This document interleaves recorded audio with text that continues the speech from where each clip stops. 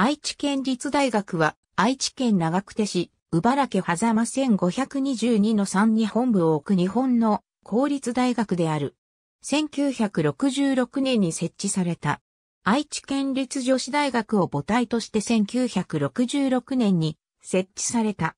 1998年には名古屋市水北高田町から長久手町にキャンパスを移転し、大規模な学部、学科の増設を行った。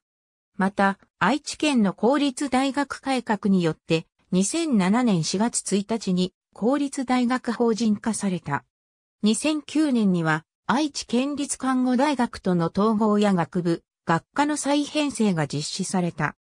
知識基盤社会と言われる21世紀において、知の探求に果敢に挑戦する研究者と知の獲得に情熱を燃やす学生が相互に啓発し学び合う知の拠点を目指す。地方文献の時代において高まる高等教育の需要に応える公立の大学として良質の研究とこれに裏付けられた良質の教育を進めるとともに、その成果をもって地域社会、国際社会に貢献する。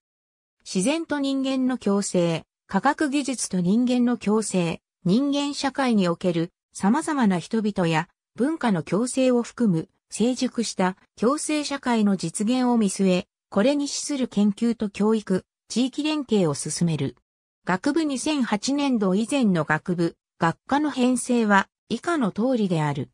大学院附属機関長久手キャンパス、守山キャンパスサテライトキャンパス海外の大学など60校、機関と協定を結んでいる。ありがとうございます。